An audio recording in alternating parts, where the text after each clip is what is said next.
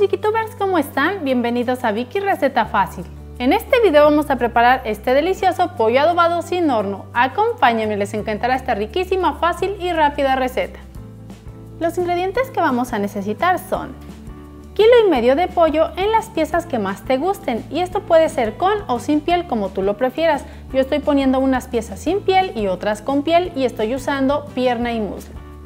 También necesitamos 50 gramos de chile ancho, en mi caso 3 piezas.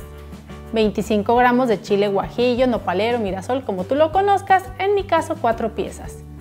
Un chile chipotle seco que pesa 8 gramos, si no tuvieras chile chipotle seco puedes poner chile morita o cascabel u omitirlo como tú lo prefieras porque este sí da un poquito de picor. También necesitamos dos hojitas de laurel, 10 pimientas negras, 3 clavitos de olor, 2 pimientas gordas, media cucharadita de orégano seco, media cucharadita de cominos, un cuarto de cucharadita de tomillo, un octavo de cucharadita de canela molida, media cucharadita de ajo en polvo, 3 dientes de ajo medianitos, 2 trozos de cebolla de este tamaño, media taza de jugo de naranja que debe estar colado y es el equivalente a 120 mililitros, caldo de pollo en polvo que es opcional, sal molida, pimienta negra molida, 2 cucharadas de vinagre blanco que serían 20 mililitros, aceite y agua. Comenzamos sazonando el pollo, recuerden que para esto ya debe estar bien lavado. Lo ponemos en un recipiente amplio y ahí le vamos a agregar la media cucharadita de ajo en polvo, media cucharadita de sal molida, y pimienta negra molida al gusto y mezclamos muy bien. Recuerden que la cantidad de sal es al gusto.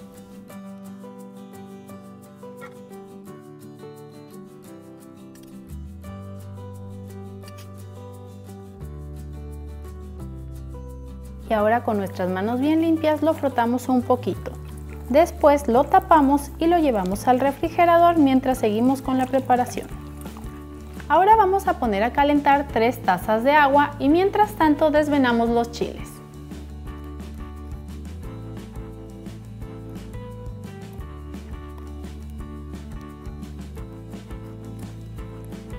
Y los dientes de ajo también los vamos a partir por mitad. Ahora vamos a poner a calentar aceite para poder freír los chiles. Una vez caliente el aceite a fuego alto, comenzamos a freír los chiles y esto debe ser rápido para cuidar que no se quemen, porque si se queman se amarga. En cuanto están, los vamos llevando al agua caliente.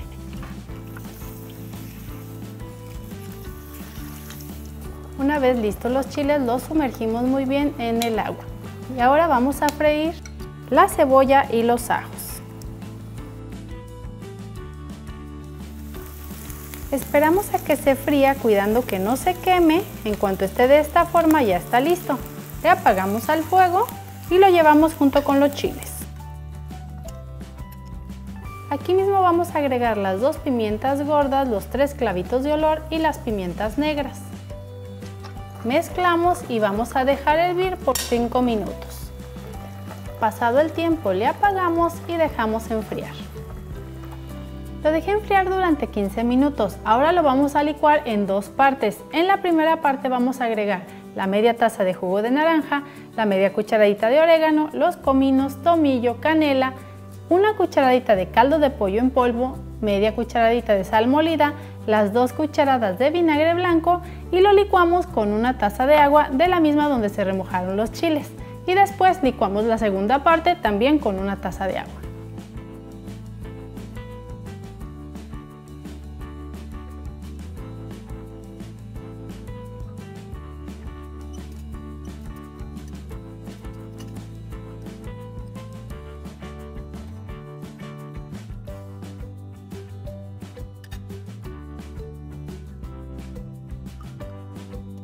Y lo licuamos muy bien, pero nos protegemos con una toallita o una servilleta porque aún están un poquito calientes.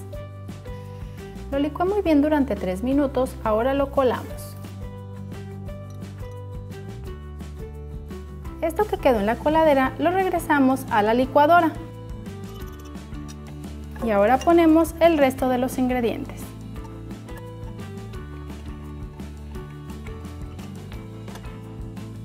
Y le agregamos la otra taza de agua.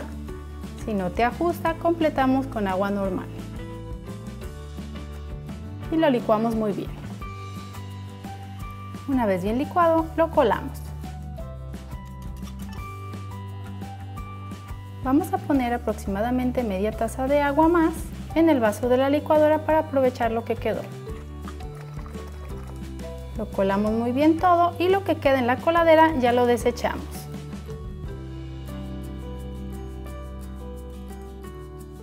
Y ahora mezclamos todo muy bien para que se integre perfectamente.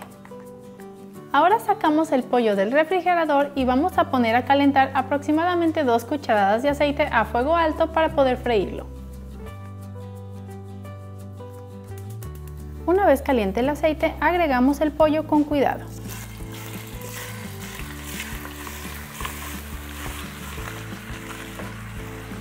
Y vamos a esperar a que se dore un poco. Dejamos cocinar el pollo hasta que esté doradito y bien sellado por todos sus lados. En mi caso tardó 20 minutos a fuego alto. Ahora agregamos las dos hojitas de laurel y el adobo.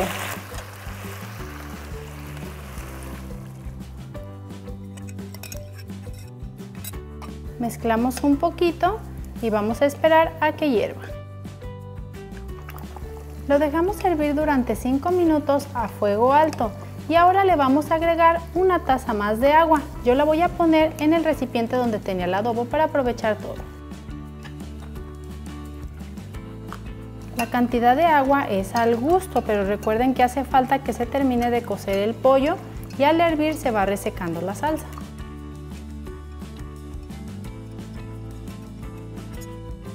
Mezclamos le bajamos al fuego a que esté a fuego medio, lo tapamos y ahí lo vamos a dejar cocinar hasta que el pollo esté bien cocido, mezclando de vez en cuando para que no se pegue.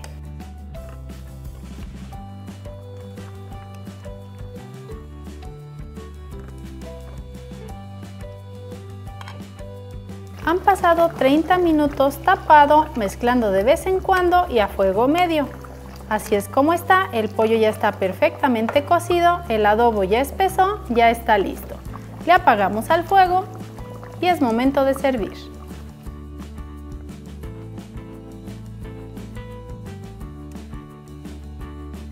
Pues ya viste qué fácil es preparar este delicioso pollo adobado sin horno. Esta cantidad que preparé rinde aproximadamente 6 porciones y lo puedes acompañar con arroz blanco, rojo, pasta, frijoles refritos, ensalada, etc.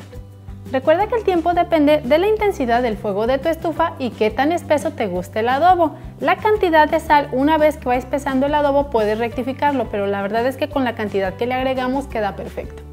Aquí al final de este video o en estas tarjetas que están apareciendo ahorita o aquí abajo en la descripción, te voy a dejar links de recetas deliciosas como este riquísimo pollo adobado sin horno. Te invito a que te suscribas a mi canal Vicky Receta Fácil. Comparte, activa la campanita para que te lleguen todas las notificaciones de los videos nuevos y dale like a esta delicia. Vamos a probar a ver qué tal quedó.